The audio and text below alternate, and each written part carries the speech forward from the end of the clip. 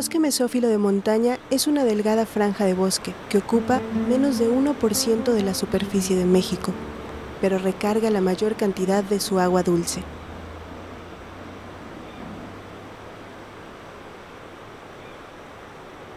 Como un imán, el agua atrae la vida y por lo tanto el bosque de niebla destaca como el ecosistema con mayor índices de biodiversidad en México.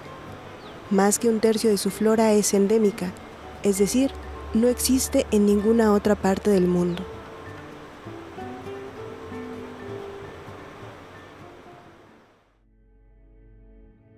En México se ha perdido el 90% de la cobertura original del bosque de niebla, por lo tanto, se registra como el hábitat con mayor número de especies amenazadas, raras y en peligro de extinción.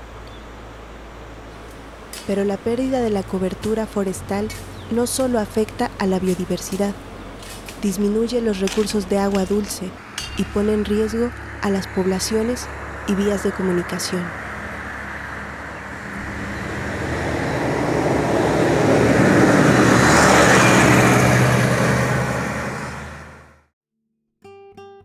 Más del 50% de los fragmentos de bosque de niebla que aún permanecen se encuentran en territorios indígenas. Estos ecosistemas se conservan gracias al uso ancestral de su diversidad biológica.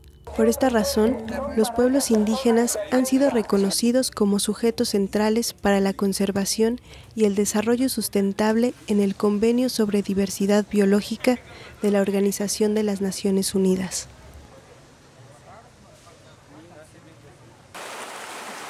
Por su importancia cultural y biológica en la conservación de suelo y captación de agua, la protección de estos bosques es de alta prioridad en el país. Pero en el campo mexicano encontramos una paradoja compleja y desconcertante, donde una de las principales amenazas al bosque de niebla, como señala la Comisión Nacional para el Conocimiento y Uso de la Biodiversidad, es la misma política forestal, la sustitución del bosque de niebla por plantaciones de pinos.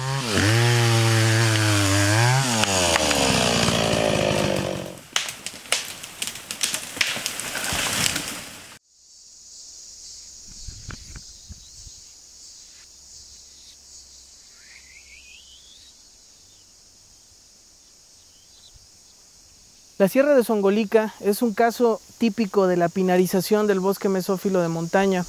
En la sierra existen alrededor de 10 viveros forestales con capacidades de producción variables, pero que en conjunto llegan a tener un promedio de 3 millones de plantas producidas por año. Estamos hablando de que eso equivale a una superficie de 3.000 hectáreas de plantaciones de pinus pátula, lo cual en 20 años acabaría por llenar la Sierra de Songolica, las 97 mil hectáreas.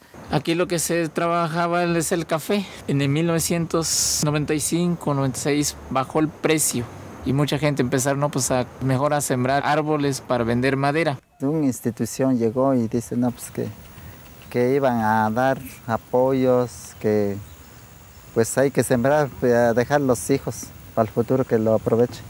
Me doy cuenta de que si vamos a sembrar nomás unos dos especies, a rato este, pues se nos va a acabar lo que es nativo de acá, los arbolitos.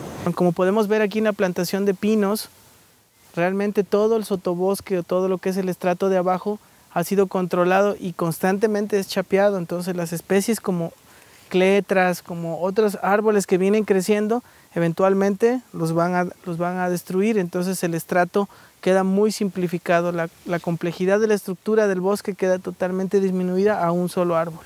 Es una hierba eh, medicinal. Las mujeres que dan luz con este, lo hierven y con este se baña. Y esto sirve para este, pues se hace en té y son para los nervios. Se llama el árbol pipicho, que se da, este, da frutitas y se come uno. A veces se come la gente. Como no hay aquí, no hay empleo, entonces las señoras buscan de cómo, cómo se puede mantener. Lo llevan al mercado, lo venden por medida. Como acá yo he visto que el, el, el helecho arborescente ya está perdiendo y lo que mi jefe, mi abuelito me han platicado, se hacían casas con eso, los helechos aflorescentes, y aguantaban, dice que de 30, 40 años. Me doy cuenta que al tener mucha madera también ya no va a haber venta.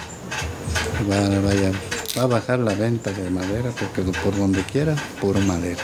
Porque se está reforestando en todas las partes, en las zonas frías, en las zonas cálidas y a nivel nacional. Pero nadie, de nosotros nadie nos dimos cuenta de que, que si a rato pues nos iba a afectar, ¿no? Yo pienso nos iba a afectar porque ya como le digo, pues este, se va a acabar todo lo, que es natural de acá. Dentro del bosque hay varios animales, como son las aves y otros tipos de animales. Y entonces también que hay plantas, otros árboles que dan frutos.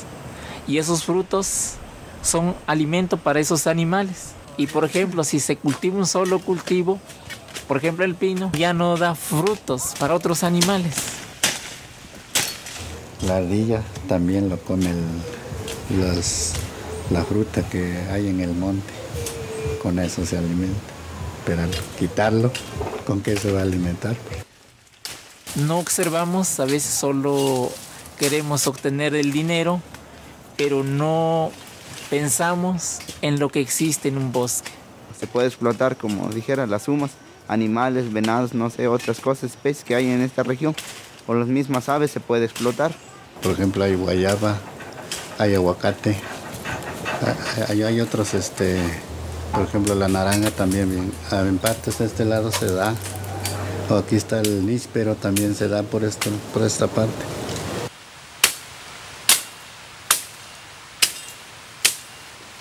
El mismo fresno, se ven preciosos para hacer muebles de eso, no sé, sillas, bancas, no sé, para, o cualquier, un, una vitrina se puede hacer con esos muebles. Hasta el mismo elite se puede hacer, o el vainillo.